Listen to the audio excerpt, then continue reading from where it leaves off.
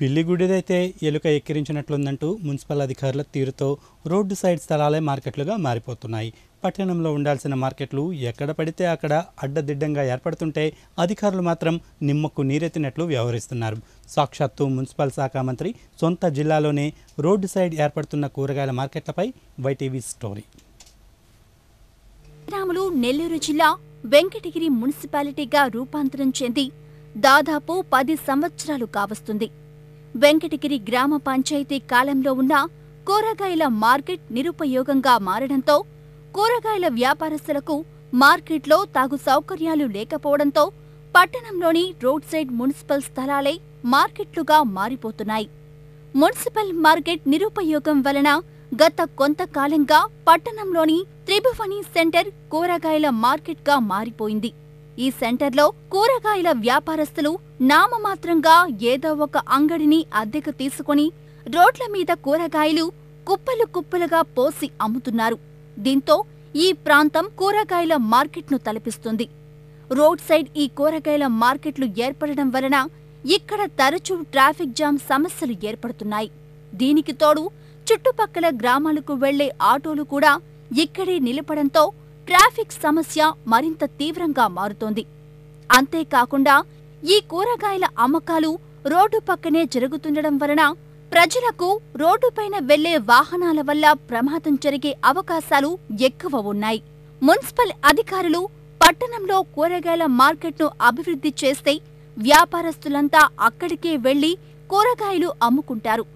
నిరుపయోగంగా మారిన కూరగాయల మార్కెట్లో వ్యాపారస్తులకు వసతులు లేవు కాబట్టే ఇలా రోడ్ సైడ్ మార్కెట్లు విచ్చలవిడిగా ఏర్పడుతున్నాయి.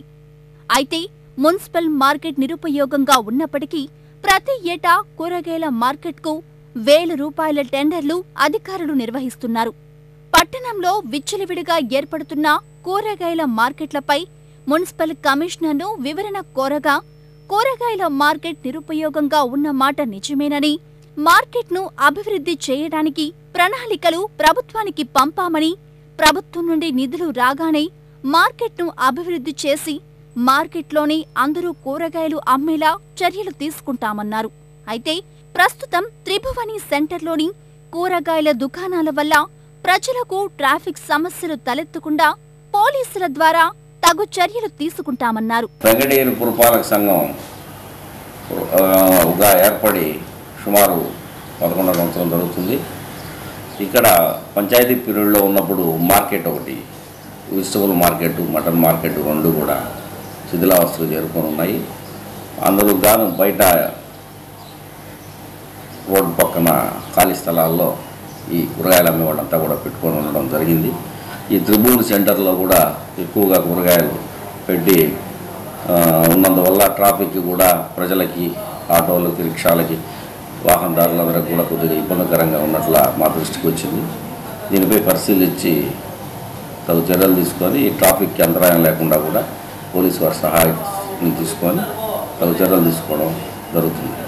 ఏది ఏమైనప్పటికీ మున్సిపల్ పాలక అధికారులు ఇకనైనా మేలుకొని నిరుపయోగంగా ఉన్న కూరగాయల మార్కెట్ను అభివృద్ధి చేసి పట్టణంలో ఇటువంటి రోడ్ సైడ్ మార్కెట్లు ఏర్పడకుండా చర్యలు చేపట్టవలసిన బాధ్యత ఎంతైనా ఉంది.